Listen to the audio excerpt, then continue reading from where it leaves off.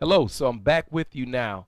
And now we're to a more exciting part because we get to take our exercises and play them in a way that makes it feel like we're playing music.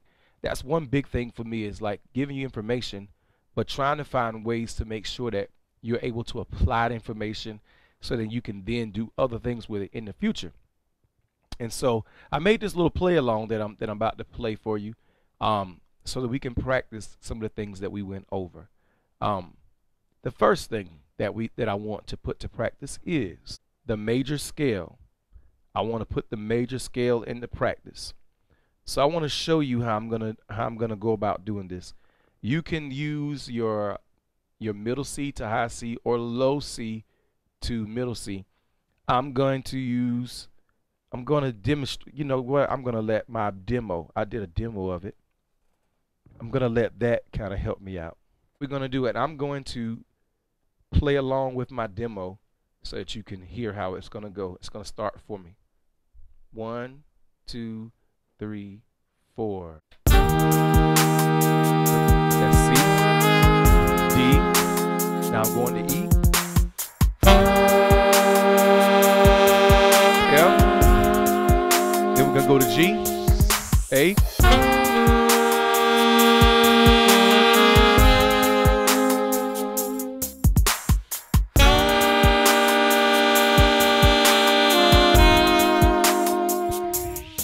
Okay, so again, we're literally playing at our C major scale in in whole notes. And so that's what was going on over there. So again, that is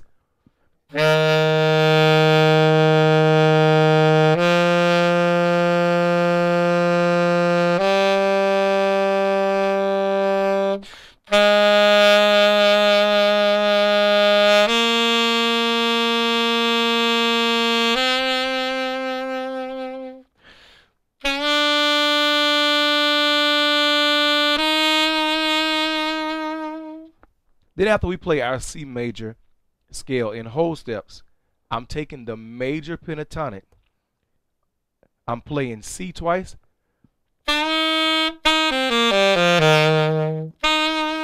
C, and then I'm walking the major pentatonic down. C, A, G, E, D, C. So you should remember it from the previous lessons.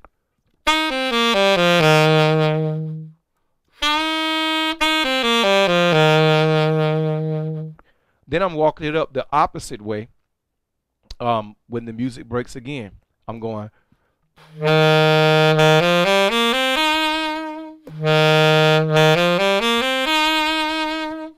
One, two, three, four.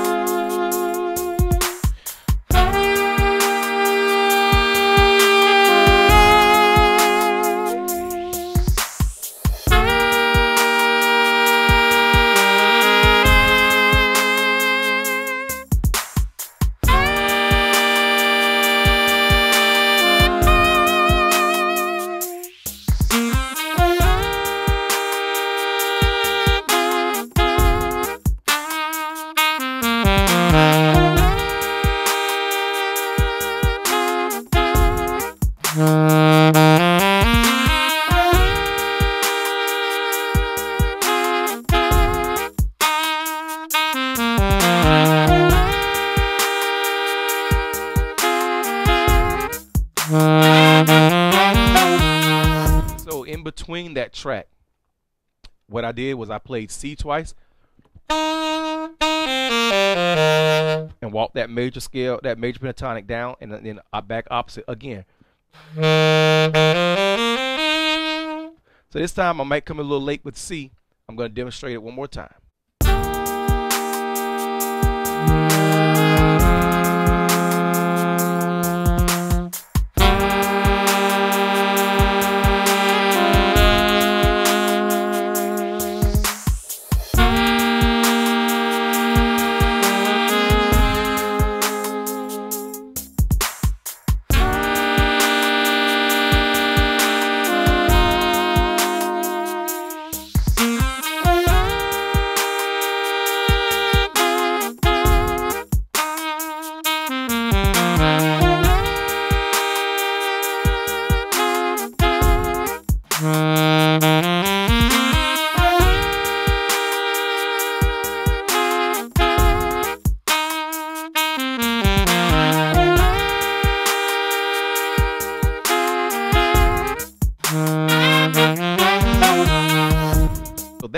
Fun way that you can practice your major scale um, ascending. Now you can deviate and do the same thing by descending down.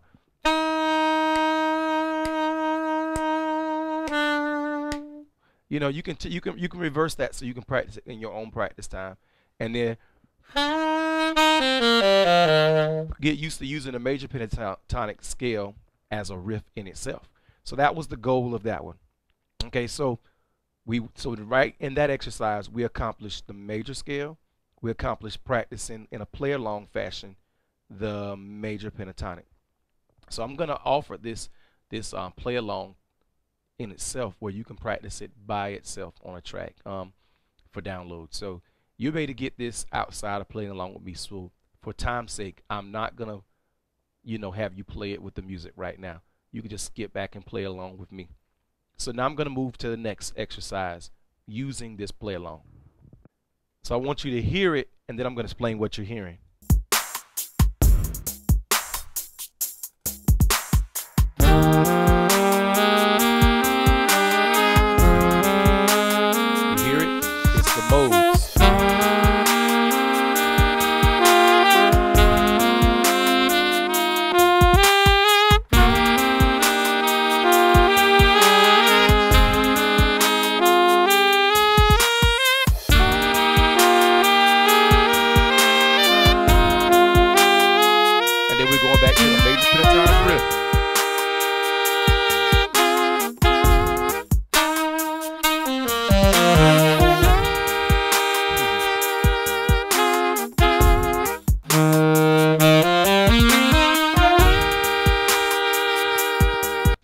Okay, so that's what's going on with that. Now, to explain what's happening, I'm taking each degree of the scale and I'm just walking up like one, two, three, four, five, six, seven, eight. Next, two, three, four, five, six, seven, eight. I'm, I'm taking the scale. So literally, if I change the angle, you can see like this. I'm going.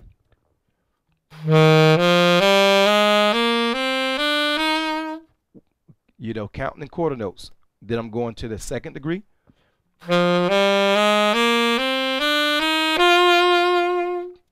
Third degree. Fourth. Fifth. Sixth. Seventh.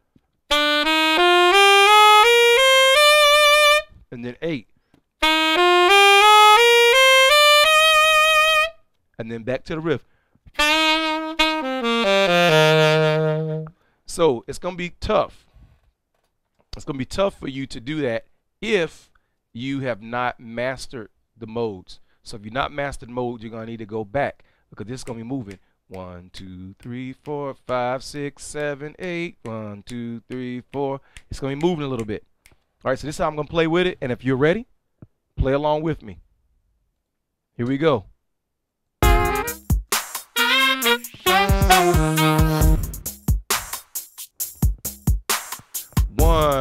Two, three, four.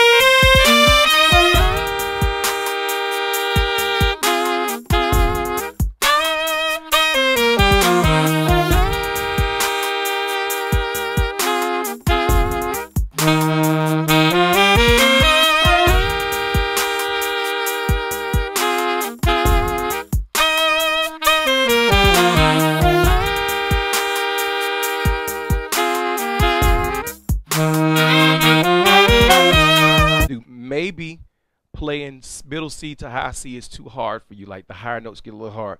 So maybe once you start getting down to, yeah, play from the low C. I think I was getting mixed up with playing from the middle C up to the high C. Um, even though we can play up there, this would not work good for you to do it there. You definitely want to start from low C on up.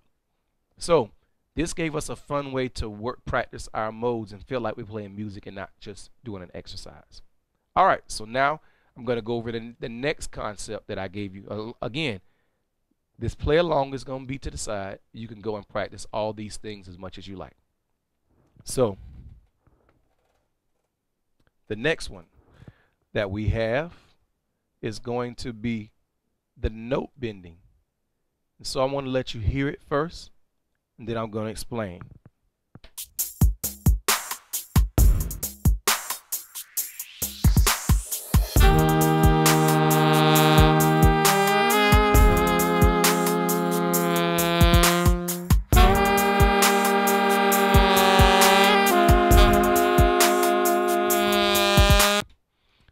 I, know you've heard enough because I know it sounds so good to your ears. Doesn't sound good to my ears, but it still it still makes the point. So what we were doing, remember when we did we did scoops or note bending, we would lower our jaw and then we would so we hit the pitch, right? So it's normal. And then we so we got uh we start lowering it. Uh, and we start bringing it back up. That's what's happening. We're literally taking the, the scale as we played it before with four beats a piece for each note, the major scale, but we're adding these bends into it, and then we're hitting the riff afterwards. So that's what's going on. All right, so this time I'm going to demonstrate.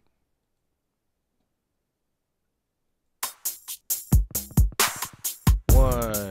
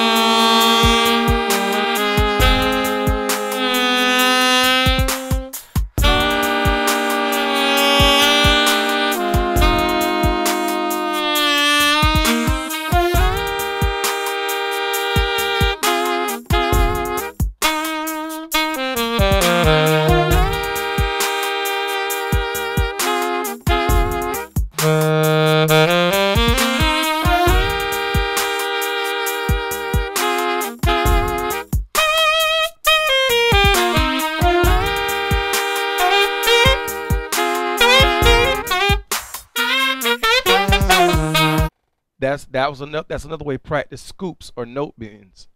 Now the next one I'm gonna have you practice is moving from the note bend. We're gonna move from the note bend into vibrato. So we're gonna literally play each note on beat like wow.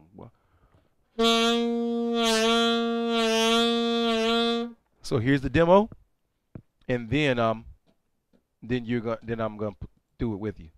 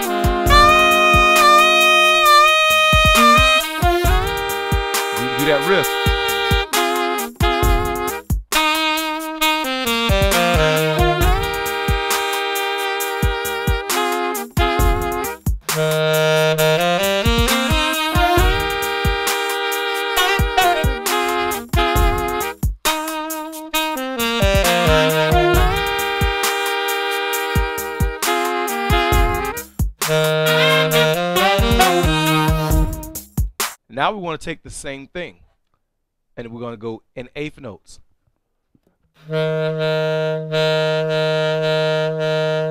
one and two and three and four and. And with this, the main thing we want to do is try to be precise with controlling it. Because in real music, we're not going to think about the beat. We're going to use a vibrato that feels right for us, the different speed that feels right at whatever time. And that's going to be cool, but you have to first learn how to control it. So our objective is just to control it on beat right now.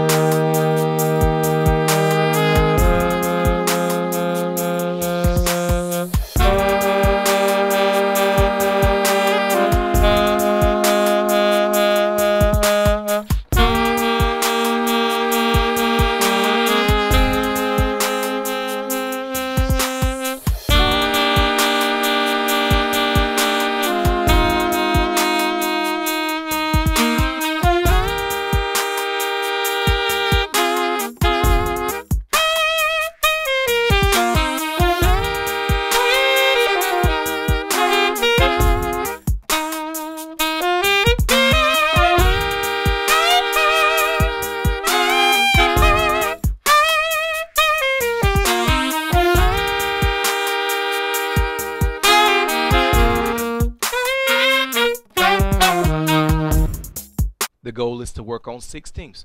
One E and a two E and a three E and a four E and a and so again I want you to go back with the with the with the with the track and work on these things. One D and a two E and a three E and a four E and a here we go.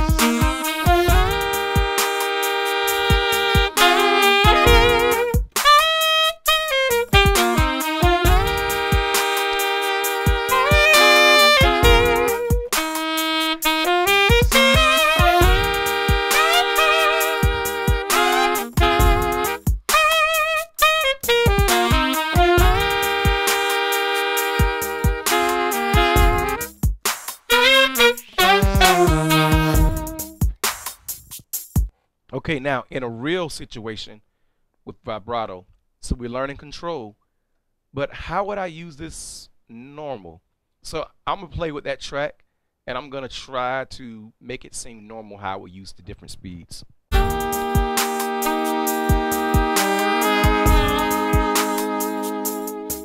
See, that's quarter notes.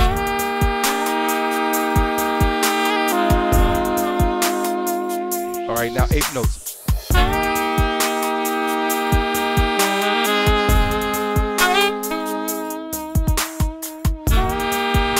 Now.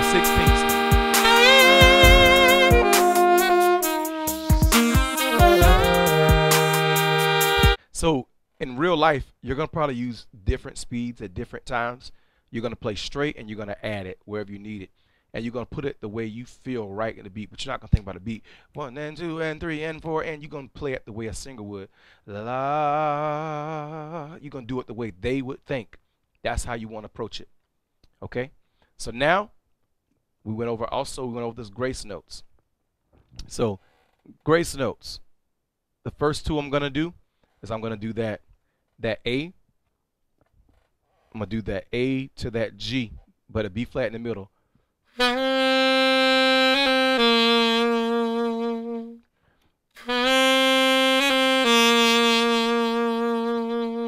Get E to F,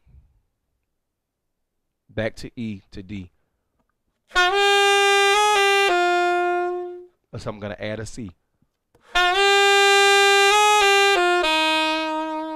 Let's do that again. E, F, E, D, C. So the first grace I'm gonna go.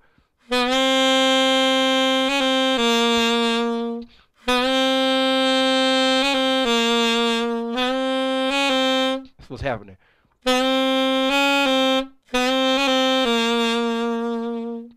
And the next time we're gonna next time we're gonna go.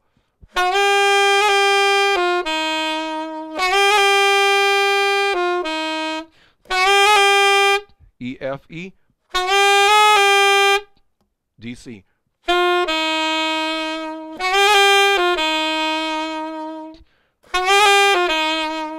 I'm gonna do them one after the other. Um, before we get to the major pentatonic riff, I'm gonna do it like so.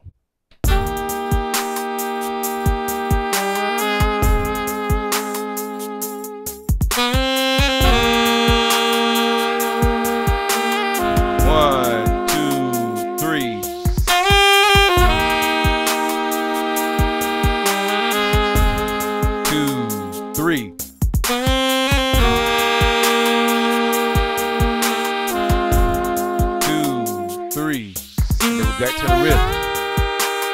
And of course, we're gonna practice that.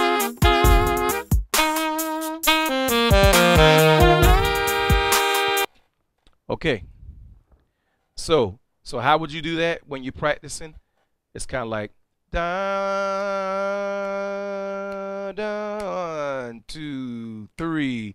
Ah. So listen to the background to know when to come in.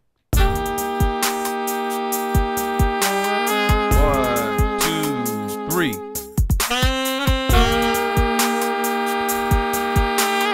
One, two, three.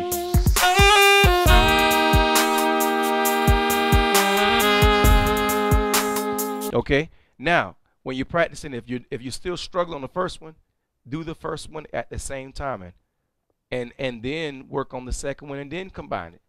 But either, but don't let yourself not practice it. You what I mean.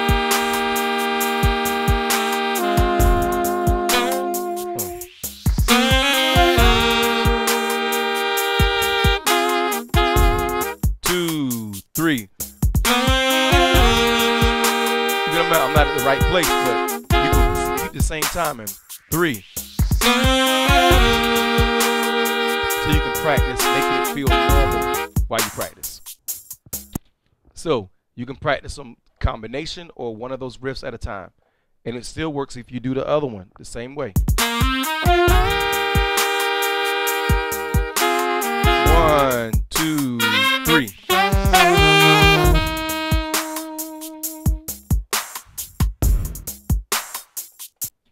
Hope this made sense for you and that you were you are able to run with this. So you have been given a lot of toys in this in this lesson that that's going to really add up in the future to help you sound soulful, to help you sound like a singer, that have that gospel touch, that have that soulful touch, that smooth jazz touch in your playing. So you you you got a lot of tools, a lot of tools. So in the next course, we're going to spend more time with how to use these in real song examples or more realistic examples because we really had to take time in the first two courses to build the foundation. Um, I think the next course we may build some more with some more foundational tools and and and then we'll see more how to do it. But um, um, my goal is always to give you the tools that it takes to do more on your own, whether you are around me or not.